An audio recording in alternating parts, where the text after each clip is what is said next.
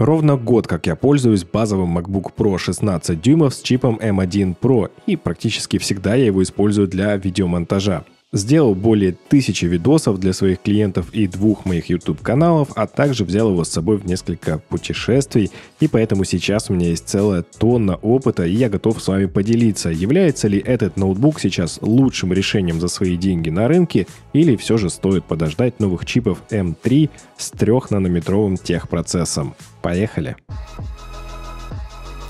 И сразу начнем с видеомонтажа. Я снимаю на Sony A7S III только в 4К и кодеке XAVC-S. Это у нас H264, Long GOP, 10 бит, 422 кодек, и он достаточно тяжелый для большинства компьютеров. До этого я использовал iMac 5K конца 2015 года почти в максимальной конфигурации, и вот он даже нормально проигрывать материал Sony A7S III в 4К 25 кадров в секунду не мог. А я уж не говорю про 4К 50 или 120 кадров в секунду. Я делал либо прокси, либо снимал в ProRes на Atomos Ninja 5 Recorder, но вот с M1 Pro, MacBook Pro 16 дюймов, я абсолютно забыл про то, что такое лаги, замирание, тормоза, даже с 4К 120 кадров без всяких прокси и так далее. Даже несмотря на то, что почти все проекты у меня с эффектами, цветокоррекцией, лутами, переходами. Время рендеринга и стабилизации клипов могло бы быть чуть-чуть лучше, но в принципе это уже в разы лучше, чем я испытывал на любом другом компьютере, которым я пользовался до этого. Но вот один плагин все-таки заставил меня вспомнить старые добрые дни ожидания, когда же все-таки отрендерится фрагмент, чтобы его посмотреть. Это Dehancer. Dehancer это однозначно лучший эмулятор пленки в таком цифровом виде, и если вам интересен обзор на данный плагин, то он есть по ссылке в описании но при этом он очень прожорливый в плане ресурсов. Мне очень нравятся его инструменты, но вот мой 16-дюймовый M1 Pro в базовой модели, ну, не слишком мягко и легко работал с данным плагином. Сил у него хватает на то, чтобы внести изменения в статичную картинку, и в таком режиме работает довольно легко и просто. Но вот если вы хотите просмотреть фрагмент, его нужно сначала отрендерить, именно вот этот кусочек, а дальше уже смотреть. И, как правило, рендерится он в 3-4 раза медленнее, чем когда вы рендерите обычный файл без дехансеров 4К 10 бит, например. Поэтому, чтобы спокойно и без ожидания работать с дехансером, лучше все же рассмотреть модель на M1 Max или подождать модели с 3-нанометровыми чипами. На моем компьютере работать с дехансером реально, но я бы все-таки оценил, если бы он работал более быстро. Время рендеринга и экспорта. В большинстве случаев файл выведется примерно в два раза быстрее, чем его настоящая длина. Допустим, 10-минутный 4К проект с кучей слоев 4К видео, цветокоррекции, лутами, эффектами, там, титрами, переходами и так далее обычно выводится за 5-8 минут. Если же вы работаете с ProRes и выводите также в ProRes, то еще быстрее. Но если вы примените плагин Dehancer на весь проект, то рендериться будет в 2-3 раза дольше, чем длина самого проекта. Ну, допустим, 4К двухминутный проект выведется за 5-6 минут. У меня есть целое большое видео по работе с разными кодеками, со временем экспорта, разрешением и так далее – конкретно на данной модели компьютера. Так что ссылку оставляю в описании, если интересно, вперед. Ну и, конечно, после тяжелого рендера мы получаем тепло, которое вырабатывает данный компьютер, как и любой другой. Поэтому обсудим нагрев и шум вентиляторов. В большинстве случаев данный компьютер абсолютно тихий и прохладный. Но вот если вы работаете с 4К проектом, да еще и довольно длинным, он может стать достаточно теплый, так что его будет не очень-то комфортно держать на коленях. А вот вентиляторы на полную мощность я слышал буквально раз 20 за целый год. И то только когда я экспортировал очень длинные 4К проекты, больше 15 минут, еще и с плагином Dehancer, например. Но зато сразу после окончания экспорта снова становилось тихо и практически выключались вентиляторы. Их почти не слышно, можно сказать, все время работы. В целом я скажу так, что M1 Pro 16 дюймов очень хорошо отрабатывает с точки зрения нагрева и шумовентиляторов, но всегда есть куда расти, и когда у нас будут 3-нанометровые чипы, они будут еще более холодными и энергоэффективными, а значит и время работы от батареи также увеличится. Это хорошо. Кстати, говоря о батарее, технически 16-дюймовый MacBook с M1 Pro чипом лучший среди всех 14 и 16-дюймовых MacBook с точки зрения работы от батареи, потому что у него самая большая батарея и менее прожорливый чип. И настоящее время работы от батареи также очень неплохое. Если вы прям жестко монтируете, экспортируете файлы в постоянном активном режиме, все это в 4К с лутами, эффектами и так далее, так как я, собственно, часто делаю для своего YouTube и для клиентов, то время работы около 4 часов под очень серьезной интенсивной нагрузкой. Но если вы более простыми задачами заняты, такими как просто ползаете в интернете в браузере, смотрите кино или работаете с документами, то вы легко можете получить и 8, и 10, и 12, и может быть даже 15 часов работы от этой машины. И за год использования на моем компьютере набежало 211 циклов зарядки и 97% батареи. Ну, точнее, здоровья батареи, как правильно сказать. В общем, вы поняли, по-моему, нормальные показатели. И да, быстрая зарядка с MagSafe от 0 до 50% также очень выручает, да и вообще сам MagSafe я использую, наверное, процентов в 95 времени. 16 гигабайт объединенной памяти в купе с очень быстрыми встроенными SSD на данном компьютере работают просто прекрасно, и я всего один раз получил сообщение от системы, что памяти недостаточно. А это был более чем 2 часа длиной 4К проекта, еще и Safari и Chrome были параллельно открыты. В общем-то, за год работы это отличный показатель. Так называемый swap, да, или обмен памятью с SSD-шником всегда работает спокойно, и вы даже не замечаете, что у вас RAM или объединенная память закончились и уже используется swap.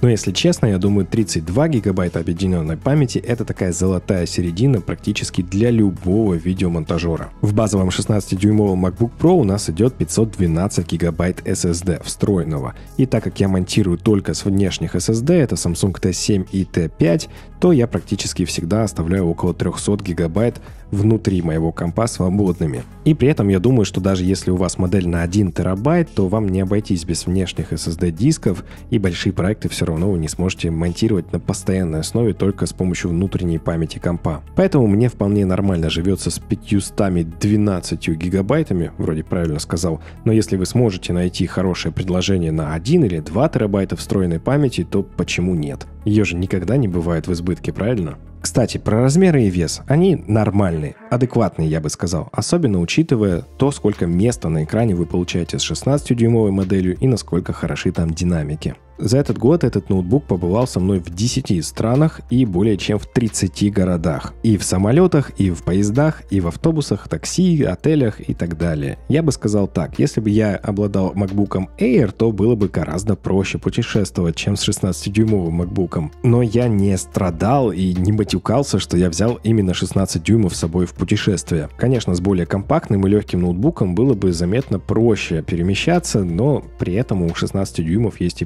преимущества, и если это единственное, что вас останавливает от покупки 16-дюймового компа, не стоит переживать. Вы нормально справитесь с этим лишним килограммом и парой сантиметров по бокам. Разъемы. Три Thunderbolt порта практически прекрасно подходят для моего стиля работы, но иногда я подключаю сразу два SSD, с которых я монтирую, и еще третий SSD с моего Ninja 5 рекордера с ProRes материалом. Так что получается все три Thunderbolt заняты одновременно. Поэтому четвертый пришелся бы очень кстати, ну вдруг добавят когда-нибудь. HDMI и SD Card Reader также работают прекрасно, и я наконец-то избавился от всех видов донглов, которые у меня были. И кстати, я пользовался для монтажа видео только встроенным трекпадом и клавиатурой. Вообще никаких нареканий. Трекпад просто прекрасен. Про экран.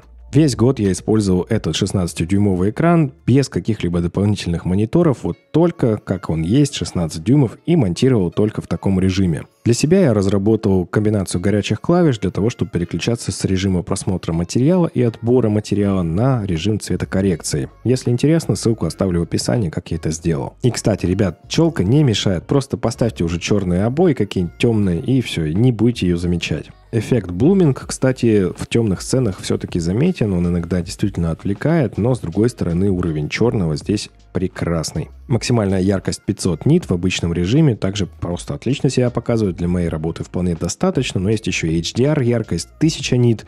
И ее, кстати, можно разблокировать и в обычном режиме работы с помощью приложения Vivid. И, кстати, когда вы монтируете, я все-таки советую на максимум яркость не выкручивать, оставляйте ее на 50-75%, потому что может быть легкое смещение по цвету, а также вы можете увидеть, что у вас вроде как переэкспонированы э, светлые участки кадра, а на самом деле нет. Ну а в остальном экран потрясающий, и технология ProMotion заставляет все выглядеть чуточку более быстрым. Это приятно. Встроенный микрофон и веб-камера. Сейчас вы слышите voiceover, записанный на внутренний микрофон MacBook Pro 16 дюймов без какой-либо постобработки и в неподготовленной акустической комнате. Встроенный микрофон здесь реально отличного качества, а вот веб-камера, ну, просто нормальная, ничего сверхъестественного. Вполне подойдет для звонков в Zoom. А некоторые из моих клиентов, кстати, сказали, что качество картинки при звонке им очень понравилось. Но для меня это не так важно, особенно учитывая, что вышла macOS Ventura, и там можно использовать камеру вашего iPhone как вебку. Колонки. Ну, на 16-дюймовых MacBook Pro они просто сумасшедшие. Я реально потрясен качеством звучания и глубиной басов.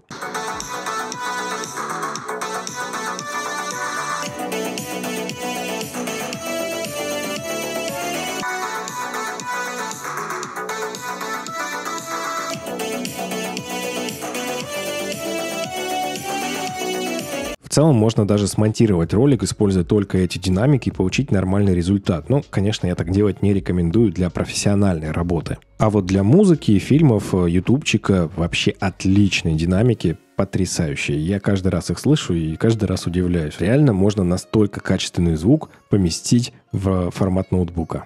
Кайф. Ценность за свои деньги. Год назад я покупал его за 240 тысяч рублей в рестор, а теперь его можно найти даже за 150 тысяч рублей в той же комплектации. Пускай американца, без русской раскладки, но гравировку можно сделать совсем за недорого, так что за 150 тысяч рублей это просто сумасшедшая рабочая станция с великолепным соотношением цена-качество, и я бы однозначно рекомендовал эту машинку. Тем более за такую сумму практически все, что я делал на этом ноуте, не вызывало у него особых сложностей, и на нем вы легко проработаете еще лет 5-7 с комфортом. По ощущениям, за год он стал чуть-чуть медленнее работать, но, быть может, просто прошел вау-эффект от перехода с MacBook Pro 13 дюймов и iMac 5K, все на Intel, которых M1 Pro рвет просто как тузик грелку. Итак, стоит ли ждать чипов M3 на 3-нанометровом техпроцессе примерно в марте 2023 года? Или же купить такой же компьютер, как у меня, по хорошей цене? В сети очень много слухов, что Apple будет круп крупнейшим покупателем чипов на 3-нанометровом техпроцессе от компании TSMC. И, конечно, в течение следующего года, то есть 2023, мы увидим чипы M3 Pro и M3 Max. Ну, скорее всего. Они будут более энергоэффективные, также они будут производить меньше тепла, дольше будет держать батарея и, конечно, чуть лучше будут показатели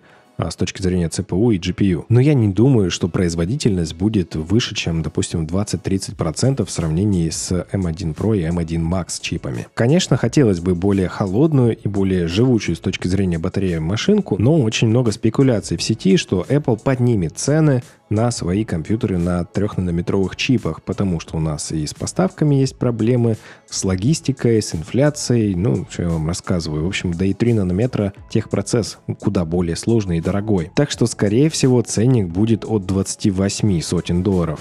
Я так предполагаю. Поэтому скажу вам так, друзья. Если вы нашли по хорошей цене прямо сейчас 16-дюймовый M1 Pro MacBook Pro, берите, не разочаруйтесь. Ну а если вы вполне сможете еще годик проработать на той машине, на которой работаете сейчас, и вы готовы заплатить за нее более 25 сотен долларов, то тогда стоит подождать. Если вам данный ролик понравился, смело жмите лайк, подписку и колокольчик. Если остались вопросы, то добро пожаловать в комментарии. Ну и увидимся, друзья, с вами в следующем ролике. Пока. Берегите себя.